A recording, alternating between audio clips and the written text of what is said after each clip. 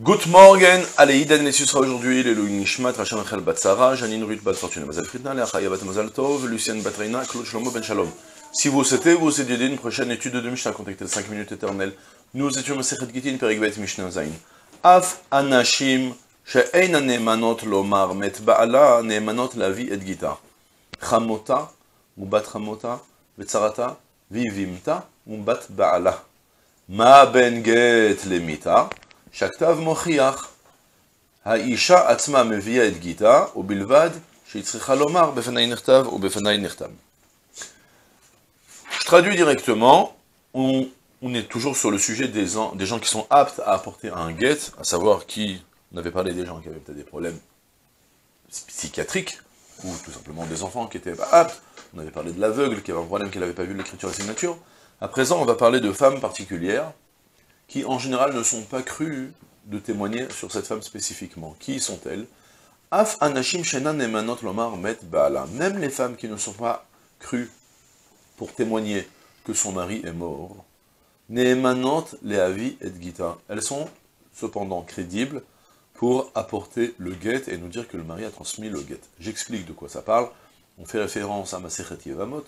On avait là-bas dans le Pérec Aïcha, Shemet, Al-Chaï ou Balal, Ayam, où, où on avait là-bas, on parlait dans, la fin des Yevamot, je crois que c'était Yudalef, si je ne me trompe pas, Yudalef Yudbet, on parlait là-bas longuement d'un mari qui est parti en Amérique, on ne sait pas ce qu'il est devenu de lui, et quelqu'un qui vient qui nous raconte qu'il est mort.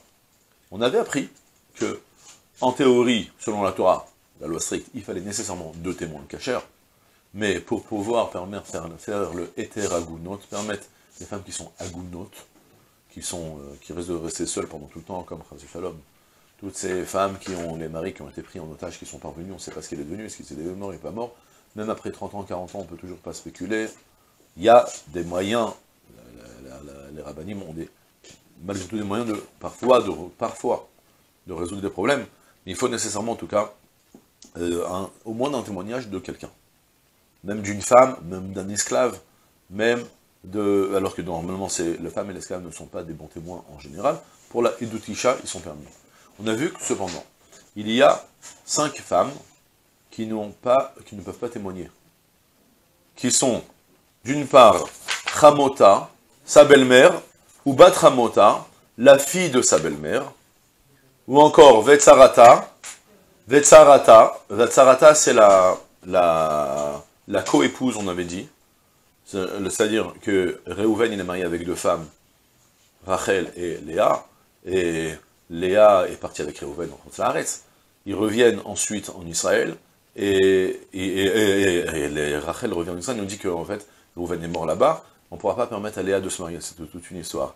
Vivimta, et aussi celle qui est préposée à être Saïvama si toutefois son beau-frère meurt, et Bat Baala est la fille de son mari.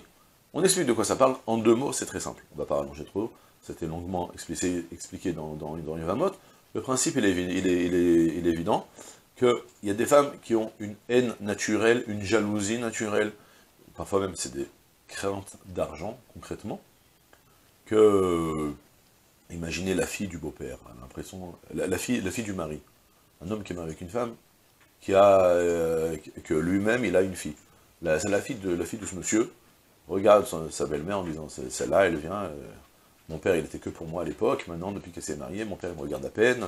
Vous imaginez bien. Parfois, il y a des problèmes d'argent. Parfois, il y a des risques de... La même chose aussi pour s'il y a deux frères qui sont mariés.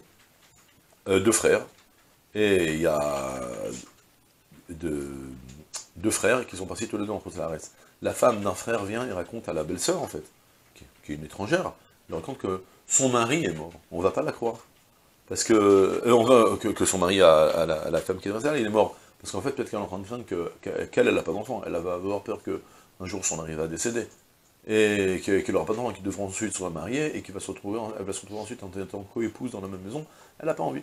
Donc elles ne sont pas crues, en général. Cette fois-ci, pour apporter un guet et nous dire, oui, mais moi, quand j'étais en Amérique, ton mari, m'a donné un guet à t'apporter. Alors là, on les croit. Et pourquoi? Ma ben guet lemita. Quelle est la différence entre le guet et la mort? Pourquoi pour le guet, la femme est crue, et pour la mort, la femme n'est pas crue? Shaktav parce qu'elle a une écriture qui prouve. Raison très simple, très logique. Une femme, elle ne sait pas écrire d'elle-même un guet et faire signer des faux témoins, elle n'est pas, pas assez... Euh, elle n'est pas assez vicieuse et, rusée pour pouvoir faire un coup pareil. Elle est capable de raconter, ouais, hein. je rappelle un petit peu un principe qui est aussi, est fréquent dans Edoutisha. Dans Edoutisha, il y avait une, une, que le mari il est mort, ce qu'on appelle Edoutisha pour les Teragonotes. Alors, euh, de manière générale, il y avait un grand problème, c'est que des fois on spécule un peu trop facilement. Le mari est parti, il est plus revenu, il, a pris un bateau, il est parti, puis après on ne sait pas s'il est revenu ou pas. On va spéculer qu'en fait après on a vu un, bout de coque de, bateau en se disant que c'est lui qui était mort.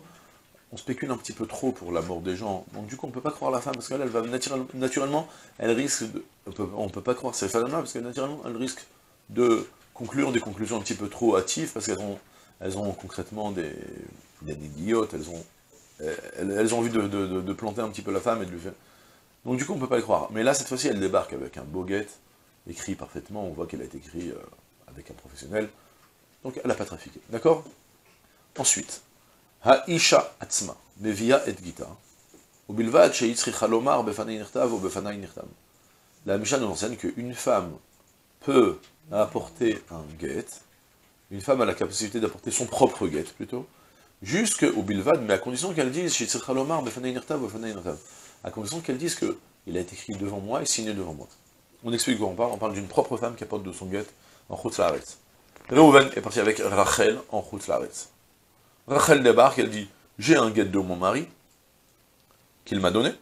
On va expliquer concrètement dans la situation. D'abord, j'explique les mots de la Mishnah. Alors, elle peut apporter son guette, mais juste, elle doit témoigner que elle doit témoigner que son guette a été écrit devant elle, et qu'il a été signé. Écrit signé en bonne et due forme, comme ça on lui dire ce qu'elle a écrit les chemins et tout ça. Euh, la Gemara explique qu'on parle d'un cas un peu original. C'est-à-dire, d'abord, on va dire une halakha très simple. Imaginez que Rouven et Rachel sont partis en s'adresse, et Rachel débarque après trois ans, elle nous apporte un guet, elle nous dit, ouais, ça s'est mal passé avec mon mari, au bout de six mois, il m'a donné un guet, je suis divorcé aujourd'hui, je peux me marier. On, voit le guet, on, on, lui dit, c'est bon, ton guet, il est bon. Il faut juste vérifier que les signatures sont connues, on va trouver deux personnes qui connaissent, on va voir, ah, c'est pour ça d'ailleurs qu'on faisait en général signer les rabbinim ou des gens plus connus, comme ça, après on voit les signatures, les gens peuvent facilement plus connaître les signatures que, plutôt que n'importe quelle personne, euh, bon juif de la bête à Knesset, que les gens ne vont pas connaître ces signatures. Donc on va faire signer comme ça, on va donc, on va donc valider que les signatures, elles sont bonnes, et après la femme elle peut se marier, ça c'est quand elle apporte son guette qu'elle nous raconte qu'elle a été divorcée là-bas. Elle n'a pas besoin de dire tout ce qu'il faut dire, c'est uniquement lorsque elle veut divorcer en Israël avec un guet qui a été écrit en Laretz. Alors là, on parle de quoi alors? On parle en fait que le mari lui a donné un guet à sa femme, mais il lui a dit, mais je te, tu divorces pas avec. Tu vas aller au Beddin, quand tu arrives au Beddin en Israël, tu vas aller au Beddin de Rav Ploni, et tu lui transmets, et tu lui dis que maintenant, moi, j'ai ordonné à Rav Ploni qu'il fasse ton divorce. Mais moi, je te divorce pas tout de suite. Ouais? Imaginez qu'il voulait la bloquer, qu'elle revienne en Israël, comme ça elle divorce en Israël, et pas qu'elle aille ensuite en Australie ou je sais pas où. Peu importe. Alors du coup, la Mishnah vient et m'enseigne comme ça. Elle me dit, donc elle apporte son guet de Ah, la femme, elle est son propre chaliard d'elle-même, vous vous rendez compte? Elle a son guet elle-même, elle apporte de Roussalares. Elle, elle ne peut pas arriver en Israël et dire, bon, mais ça y est, je suis divorcé. Il faut nécessairement qu'elle le transmettre au juge ou un chaliard, devant le juge, pour qu'ensuite, le chaliard va lui donner. Donc dans ce cas-là, on est rentré dans le, dans le masloul, dans le cursus classique d'un gars qui vient de Choselares. Elle arrive de Choselares, elle doit nous dire elle le transmet au juge, le juge va le donner à, au chaliar, qui va lui donner de nouveau pour qu'elle divorce. Ok? C'est tout pour aujourd'hui, c'est une journée pleine de Hatzlacha, Kol là.